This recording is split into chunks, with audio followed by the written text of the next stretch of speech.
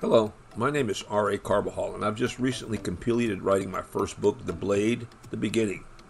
During my research for the book, I discovered a few points that I had always considered to be true facts about what we call here in Texas the crown jewels of the state of Texas.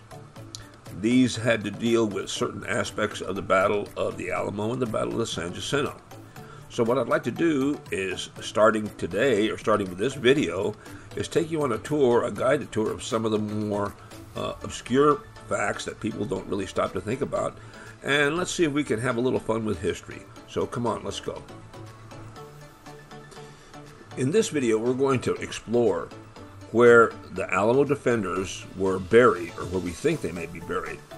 And in this video, we're going to talk about three of the most, the more common misconceptions or beliefs as to where the Alamo defenders are buried. Alamo is at the far right hand corner at a place called Powder House Hill. This is a uh, location that is considered to be the lost grave site of the Alamo defenders. It exists about 1,000 yards to the east southeast of the Alamo compound proper. And many people believe that some of the remains uh, are buried here. And we're going to look at uh, some of the facts behind that burned in another location, but not here where they are buried. Uh, and originally buried and saw their transfers from that place to the old cemetery on Powder House Hill, which is now called Oddfellow Cemetery, a rather unusual name. This, he states, happened in 1856, which was 20 years after the battle. The fragments of the bodies had been first buried in 1836 and some in 1837. Now, this is a, over a space of two years, and we don't know where actually they were buried. Mr. Biesenbach states that these bodies were buried midway between the monuments of Captain R.A. Gillespie and Captain Samuel H. Walker. Uh, and to the left and right of this uh, marker are the monuments to Captain Gillespie and Captain Walker, and this is erected on behalf of the Alamo Defenders Descendants Association. Uh, I don't know if that organization still exists to this day or not.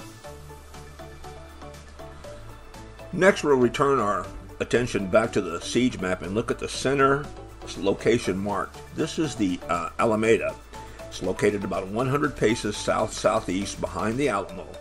It is here that several witnesses state that Santa Anna had the bodies of the defenders taken, stacked into two large piles with alternating uh, layers of, of, wood, set afire, and the uh, pyres burned for two days, after which some of them were buried. Now, uh, some say they were buried in 1836, right after the cremation. Some in 1837, which Juan Seguin, who was a who fought, survived both the Alamo and San Jacinto, uh, came back in 1837, collected some of the ashes, and states that he buried them underneath the floor of the altar in San Fernando Cemetery.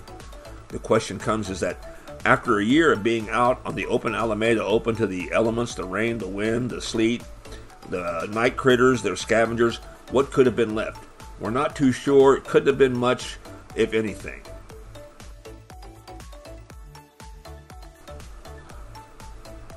Remaining with the siege map, we look at the far left uh, marker. This is the uh, St. Mary's Church site. St. Mary's Church was alternately described as St. David's Church, but it is St. Mary's Church. Interestingly enough, located on St. Mary's Street, about four city blocks from the Alamo compound. Witness, a female witness says that she observed Santa Anna bring the bodies of the Texas defenders here, stack them into two stacks, and set them afire where the bodies burned for two days, after which they were buried. Some were buried, some were left out. In 1837, Juan Seguin states that he came back a year after the battle, collected up some of the remains, and buried them underneath the altar in San Fernando Cemetery. The question here is what could have been left of the remains, if any, after a year on the Alameda, open to the elements, the rain, the wind, the sleet, and the uh, scavengers and night animals. Couldn't have been very much, if anything at all. Finally, I'd like to discuss, well, not finally, there's two more points, uh, locations I'd like to discuss. This one, probably the most important, is the uh, Alamo coffin located inside the San Fernando Cathedral, just outside of the military plaza, about a quarter to a half a mile from the Alamo. It's here that Juan Seguin states that in 1837 he came and collected some of the remains, as I said earlier, and buried them underneath the uh, altar or the, the front of the altar at the, at the cathedral. Later, uh, these remains were exhumed and placed in this beautiful stone coffin, granite coffin, located just to the inside on the left hand side of the San Fernando Cathedral foyer. Finally, I'd like to address the cenotaph. The cenotaph is the stone monument that's erected to the Alamo defenders located directly outside of the chapel. It's a beautiful monument, as you can see.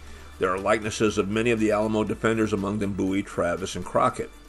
The, uh, the cenotaph is erected in their memory.